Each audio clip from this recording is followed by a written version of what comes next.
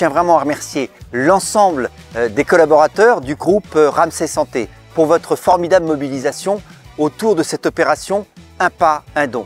Et grâce à vous, la Fondation euh, Agir pour le cœur des femmes va pouvoir bénéficier de votre soutien. En effet, les maladies cardiovasculaires sont la première cause de mortalité des femmes en France et dans le monde.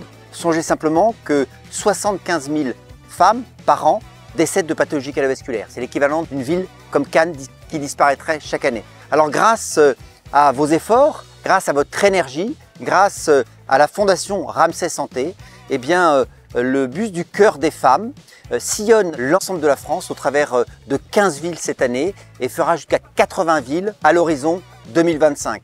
Gardez simplement en tête que grâce à votre action, Agir pour le cœur des femmes va sauver la vie de 10 000 femmes à 5 ans. Si les maladies cardiovasculaires tuent 200 femmes par jour, on peut éviter dans 8 cas sur 10 de rentrer dans la maladie par une information, un dépistage éclairé. C'est l'objet du bus du cœur des femmes et de Agir pour le cœur des femmes.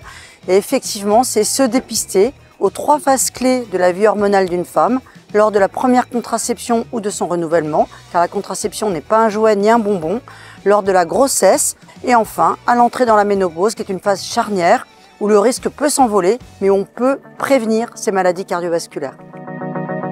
Le bus du cœur, c'est une très belle opération parce que ça permet de dépister des femmes qui spontanément vont pas forcément être dans le circuit de soins, qui vont pas forcément aller consulter le médecin, le cardiologue, le gynécologue.